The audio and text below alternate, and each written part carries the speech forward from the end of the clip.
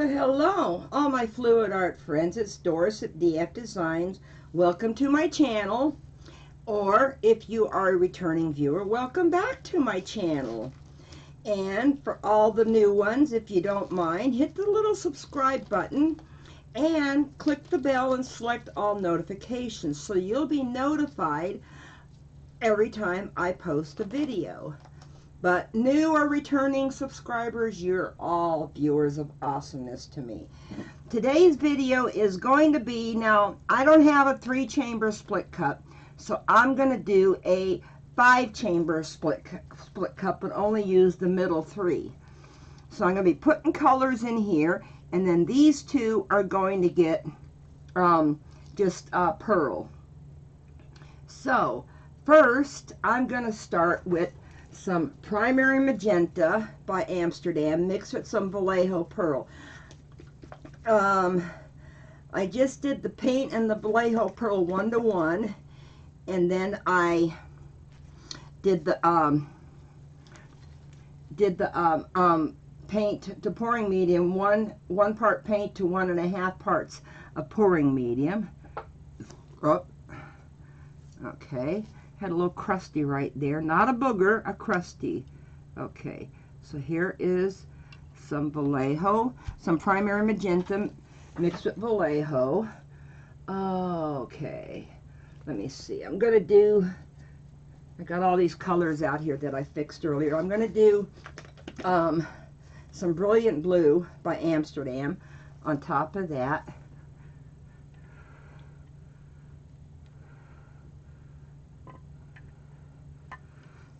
I hope that this is enough. I know this canvas, going by Mina Villegas's um, calculations, takes five and a half ounces. Um, I can't remember how big this cup actually is. Okay, I'm going to put a little bit of Viridian Mont Marte on top of it. All the paints I'm using will be listed down in the description with links for, for where you can go find them at. Okay, this is some Viridian Mont Marte. Uh, oh, I need definitely more. Okay. Okay, now I'm going to give it, I'm going to put this light gold in there. It's Chroma Molten Metals Dorado Gold. Okay.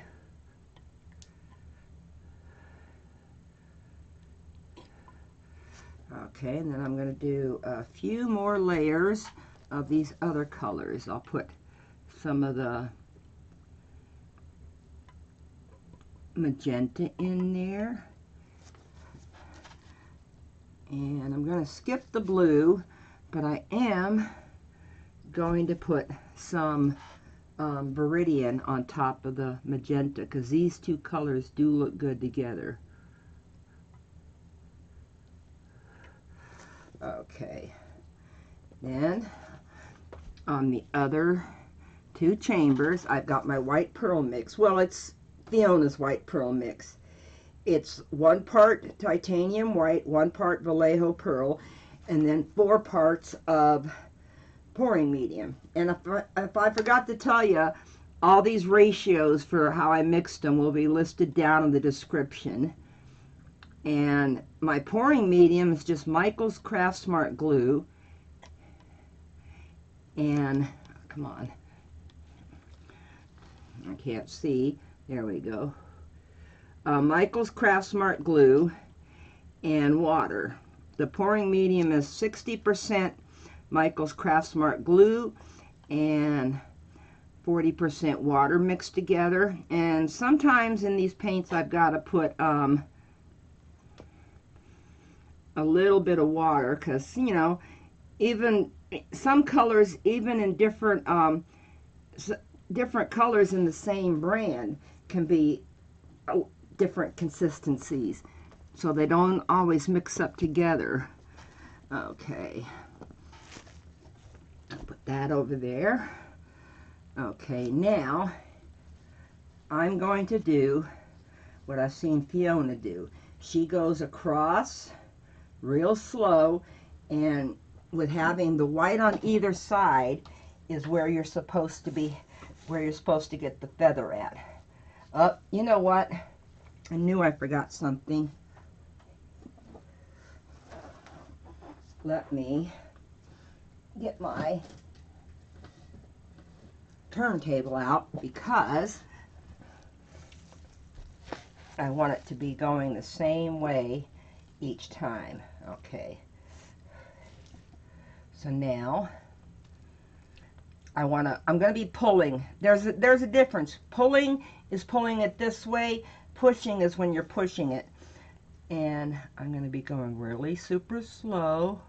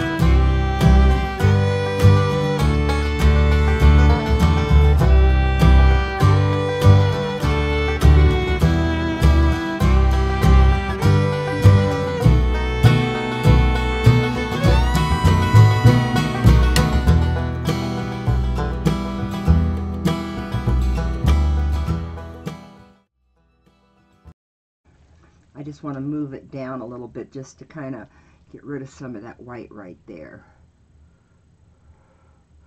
That plain white is just bothering me.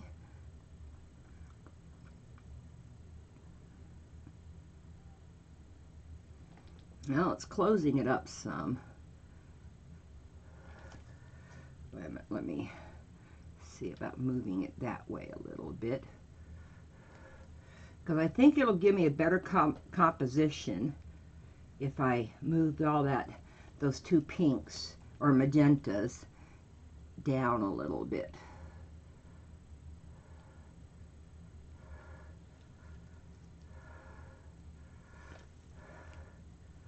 I hope nobody's yelling at the screen. Stop! It's good the way it is. I know what I want. It is my painting, okay? But I'll listen to you guys sometimes on my lives. Um, but I just felt I wanted more, more of this and less of this. Although, now, let me see.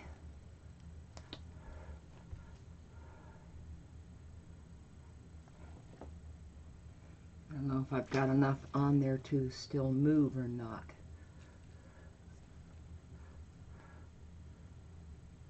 Yeah, moving a little bit. Moving just a little bit. So,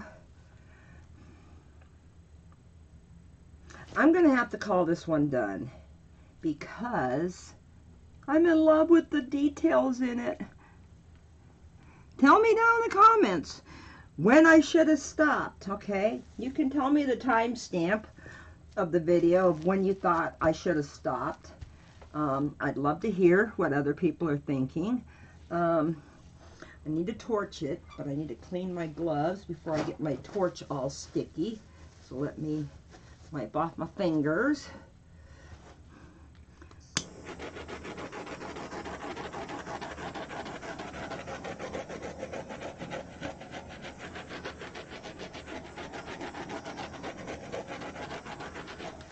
Okay. Now, one other thing I can't figure out what the orientation would look best as.